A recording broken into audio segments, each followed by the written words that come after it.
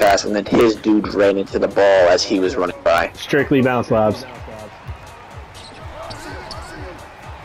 Oh! Oh, what the shit? What the shit? Oh my god!